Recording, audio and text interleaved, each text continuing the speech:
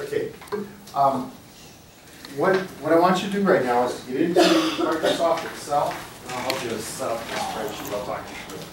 Some of you are gonna know more about this than I am, I understand that. Uh, But uh, what we're gonna do is we're gonna go through and, uh, and process the data, and we'll see. Okay, um, way to do that is to go to all, pro- or to uh, programs, all programs, All Microsoft, Microsoft, Microsoft applications, I'm gonna go to frequently Microsoft. Office. and Microsoft Excel. Yeah. Bring up Excel. I'm gonna bring the screen down. Yes.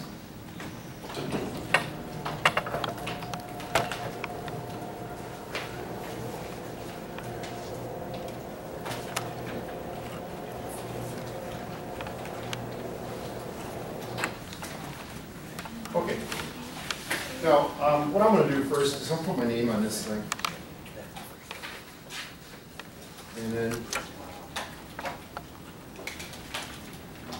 then I'm gonna set up this little spreadsheet here, uh, color. X value in centimeters. Y value.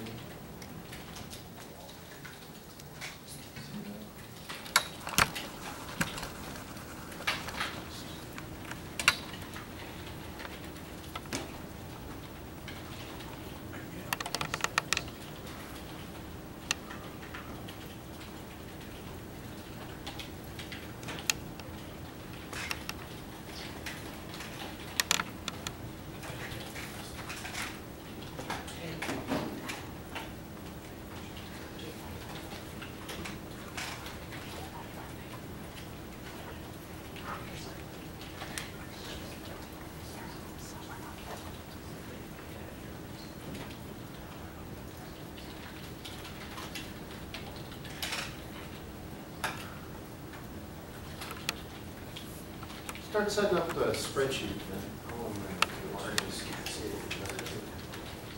We'll do the calculation.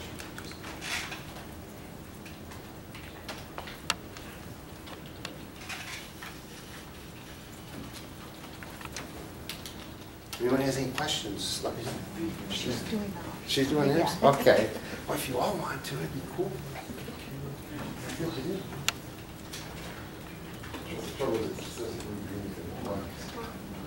Okay, now, the winning, um, again, what we're gonna do is, um, we're trying to see who comes closest to the red.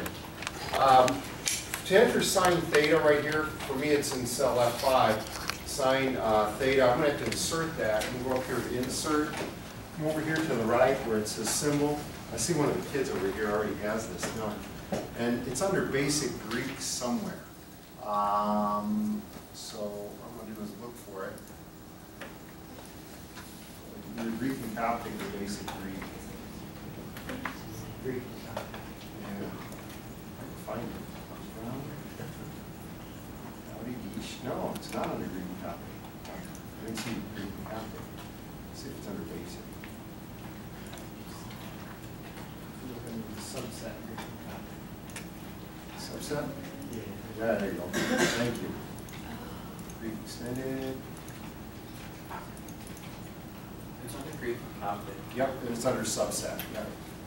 Greek and Coptic. There's close enough.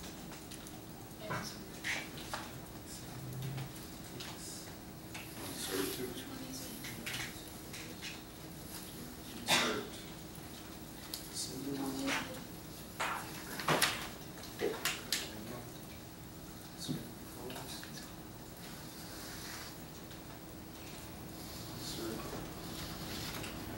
And what I'm just gonna get through, um,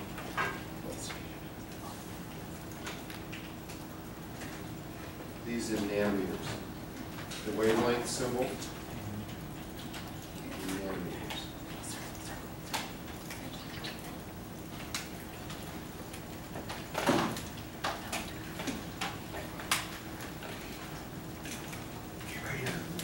What'd you guys get for, you read me your numbers? Your, your measurements? Do you have them? Can you read them to me? What do you have? What did you get for the red line? Thirty-three. Thirty-three? What did you get for the blue-green? 24, Twenty-four, and for the blue? 21. Twenty-one. Okay, thank you. Okay, so what I want you to do is get to the point you've entered your x values and your y values, and I'll talk to you about how we'll do the calculations. So get everything set up, and if you have questions, call me. To help you out. Like I said, some of you guys, these guys don't know more than I go over there, I just going to confess my ignorance.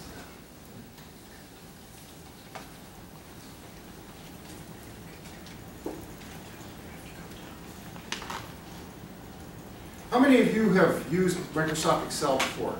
How many have never used it before? Anybody? A couple of you may never have used it. All right, what uh, Microsoft Excel is, it's a spreadsheet function which allows us to do calculations and to do multiple calculations very easily. We're going to do a very simple one today. I do this activity with my classes because I want my students to understand that no matter what you do in this world nowadays, chances are you're going to beat on a PC somewhere. Even the guy that fixes my car when I smash it has a PC on his desk. And um, I want them to have a little bit of confidence and some experience with a little bit of confidence that they can deal with, they can do, do it. And the beauty of an Excel spreadsheet, the beauty of a spreadsheet, is it allows us to do repetitive and multiple calculations easily. And what we're doing is we're programming within these areas of the spreadsheet called cells. Cells are designated by a letter and a number. This location right here, which is underneath, for me, the Z, and I don't know which one it is for you, it can be different, it doesn't matter, but for me, that is cell E6. And that's where I'm going to put my first calculation. Another thing you've got to be aware of is anytime you put a number in the cells of a spreadsheet, you cannot put the units on the number itself. Make sure you do not write, type in centimeters next to any of these numbers. The reason being is that when you put a number into a cell of a spreadsheet, the computer knows that's a value and it can do calculations with it. If you put units on it, it thinks it's a label and it doesn't know how to do calculations if there's words or labels in there. And so you don't want any units there. Notice I've got the units here at the top. Now, here's how I'm going to do this. I'm going to go to this cell right here underneath the Z, lining up with the red. And for me, that is cell E6 again. I'm going to tell the computer to do a calculation. To do that, those of you who've got some experience with Excel, what do you type first if you're going to do a calculation? Equals. You're going to type the equal symbol. When you type equals, what you're doing is you're telling the computer whatever happens next is a calculation.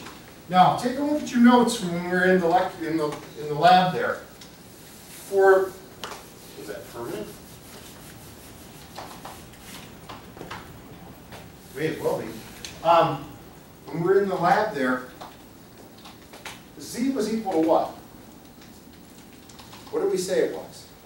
How did we calculate it? Remember that came from Pythagorean theorem? Square root of x squared plus y squared. Square root of x squared plus y squared. Okay, here's how you do that. You type square root, SQRT, is the abbreviation for square root. And then you type the left parenthesis, because what we're going to do is we're going to square the values that we're going to put in there. So, I go to that cell in my spreadsheet, I type equals. SQRT, left parenthesis. Now, for me, and I don't know where it is in your cell, my x values are here. It's in cell C6. So I'm going to tell the computer square root of C6, and then I want to square that. To square it, I'm going to use the caret key, which is above the 6 on the number pad, or on the number across the top. To Yours may be different, so make sure you use the right one for you. Shift 2, that squares that. And then I'm going to hit plus. The y squared is in D6. D6 shift 2. Plus D6, shift 2, caret 2. And then I'm going to close the parenthesis.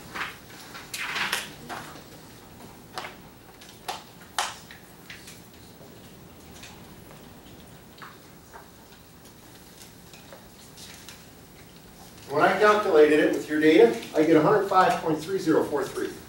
105.3043, and I do that.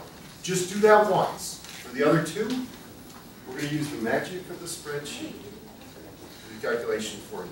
Okay, make sure you can get it. If you have any trouble, call me over, I'll help you out. Is everybody good? Okay, right there.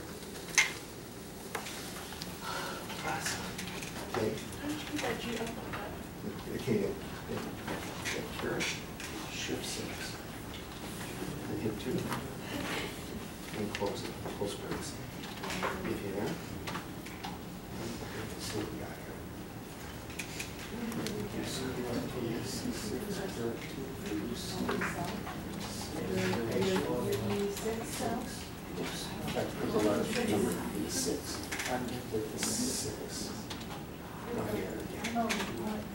Okay,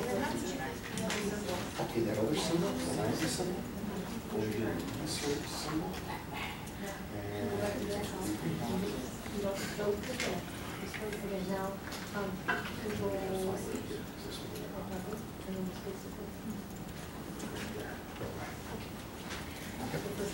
Anybody else? Okay, now, what we're gonna do is we're gonna fill that down, don't type it each time. The way you do this is you right click on the corner of the cell, hold on a second, I'll help you. And drag this down and then release it, and it'll do the calculation proportionate for each of those three cells. That's the magic of the spreadsheet, or the utility of the spreadsheet. Go up there, okay, type, go up there, type equals. C six, or for you it's, yeah, C six. Caret two. Plus. Plus, D six. Caret two. Close parentheses. Equal, enter. enter. Okay, what are we doing?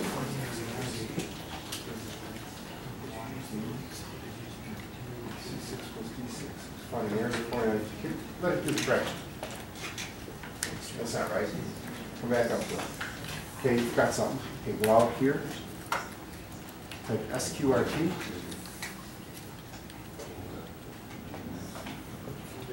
T. No, you're right there. Okay, you got to use it that way? It won't do it, won't take it. Now, left parenthesis. You got which, oh, don't, go back there. Okay, put a left parenthesis, put parentheses around this this area.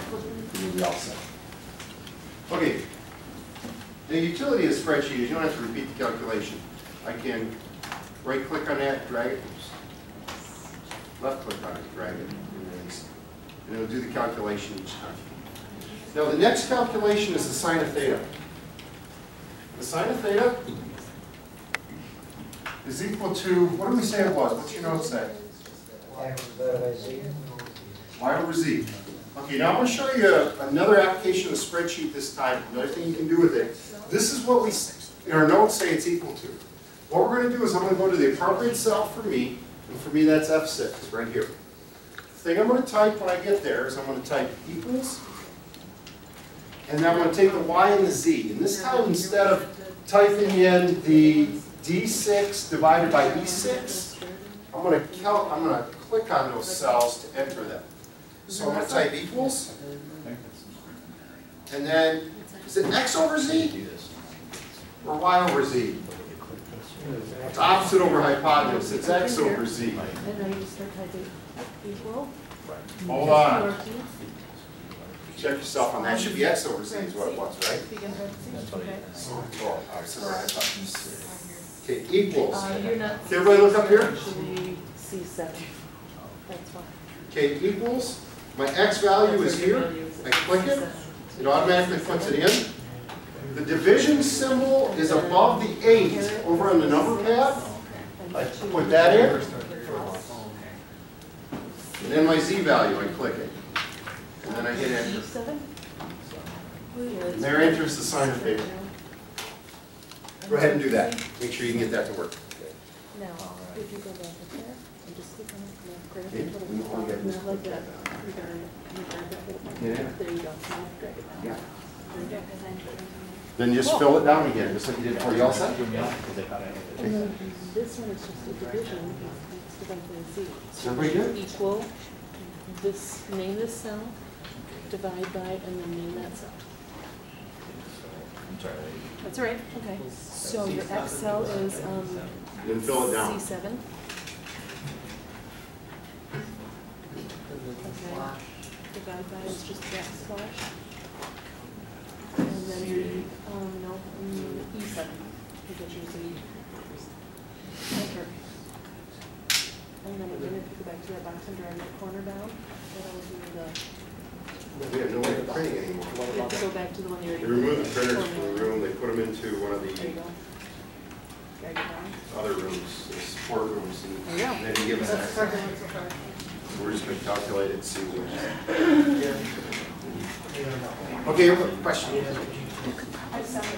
What, what? You could probably print to the main printer. We'll just do it. You could search for doing Okay. but not Everybody listen up. Is everybody caught up? We've got some values for the sine of theta? A grading program, so I can- Are we good?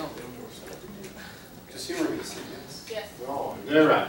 Okay, come over to this one here. We're gonna calculate the wavelength now, and we're gonna calculate it two ways. First, is we're gonna calculate it in centimeters.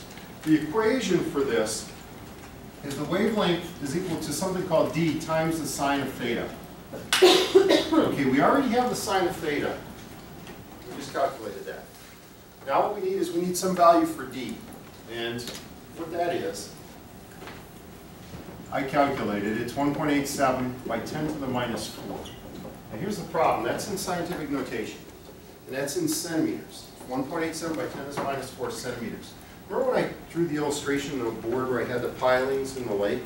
That's how far the pilings are apart, and that's one point eight seven by ten to minus four centimeters. That's point zero zero zero one eight seven, zero, one eight seven four centimeters. That's tiny. And that's how the, the diffraction grating is made by taking a laser, and what they do is they etch uh, an aluminum block, and then they pour the plastic on it, and they make the grating that way. And so it's very, made very precisely, with very small distance between the lines, and that allows us to see the light broken into its individual wavelengths. Now what we're going to do is we're going to use something, this is called the Bragg equation, and this comes from X-ray diffraction. We're going to take that angle, we're going to multiply it by that D. What I'm going to type into the computer, and this is how you're going to do this, we're going to put that number in scientific notation, there's a little trick to it. You type one equals first, one point eight seven, and then E, negative four.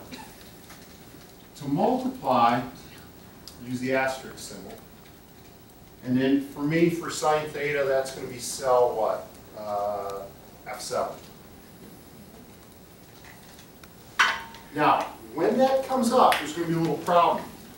Because I have one of my factors in scientific notation. This beast is going to come up in scientific notation.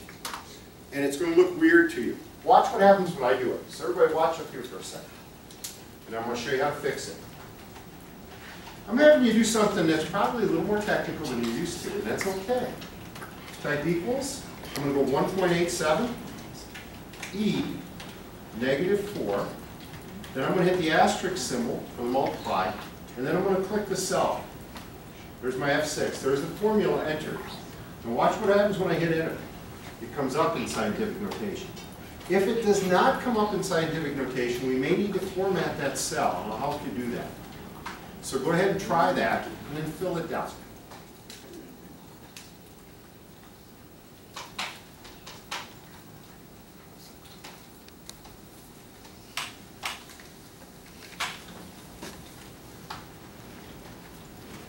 Got it? Cool. Good. Does anybody, did anybody get something that looks really weird, doesn't even have numbers there? Anybody have that happen to them? Good. All right, the last calculation. In a moment, we will know who the winner is of the calculators. Jeez.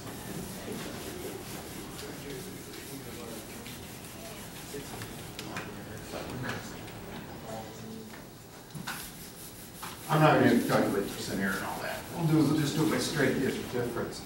So this second. Okay, now, the last calculation is to convert this wavelength to something called nanometers. Now, one nanometer is, it's a, it's a million, one million of a um, meter. So it's ten to the minus six meters, or ten to the six nanometers is equal to one meter. Here's what I'm gonna do, I'm gonna work the calculation out, I'll show you what you put into your spreadsheet to calculate. What we have here for me, I've got five point eight six times ten to the minus five centimeters. What I need to do is I need to convert that into nanometers, I'm gonna work here.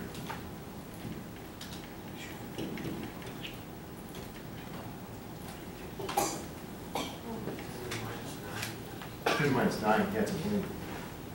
You're right. Micro, micro's micro. Yeah, that's what it is. Thank you for correcting me. What I'm gonna do is I'm gonna go to meters first, then I'm gonna cancel meters and end up with nanometers. What I'm gonna do is I'm gonna fix this, watch, one meter, one meter, there's hundred centimeters in a meter, there's ten to the nine nanometers in one meter. This is ten to the second, so I'm gonna multiply by ten to the, okay, everybody look up here for a second, show you what I'm doing. I wanna convert everything into nanometers. In order to do so, I want to cancel centimeters. I'm going to go to meters first. Then I'm going to cancel meters and go to nanometers. Should be common knowledge that there's 100 centimeters in a meter. 100 is 10 to the second. I was corrected now. There's 10 to the ninth nanometers in one meter. If I have 10 to the ninth divided by 10 to the second, what do you do with the exponents here? Subtract it. Subtract them. What does that come out to be? Seven. 10 to the 7. Okay, what we're going to do is we're going to take whatever value we have in this cell, and we're going to multiply by 10 to the 7 to get to this cell. And so what I'm going to do is I'm going to go to this cell, I'm going to type equals 1E7. And then I'm going to multiply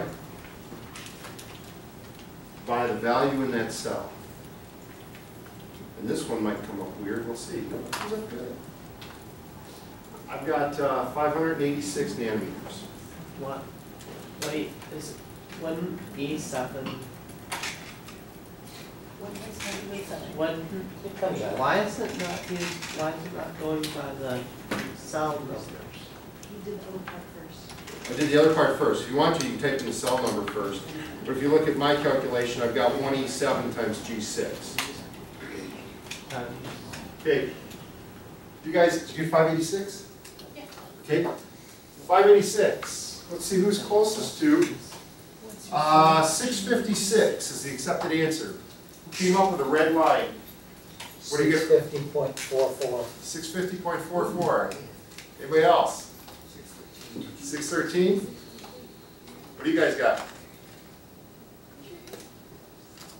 What you got for the,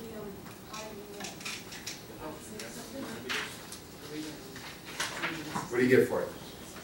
Six hundred and sixty-five point, Six what? six hundred and sixty-five. 665? 656 accepted, so 654 sounds like the winner. Six fifty. 650. And you got six what? Sixty-five. 650, 665? Who's closer at that point? Six. Six. They are, yeah, by six, yeah. Okay, I only have two of these, I should have ordered more. I'll let you figure out who within your table gets them. Congratulations. Okay, what you've done, you've done something that involves chemistry and physics, something that has historical significance and applies to atomic theory. Uh, thank you all for coming. Um, you don't have to print these things, we don't have the ability to print or anything like that. I hope you learned something today, I hope you had some fun. Uh, this afternoon at 1:40, I'm doing a session on something called thin layer chromatography, uh, crime scene investigation type thing. So take care. Have a great day, everybody.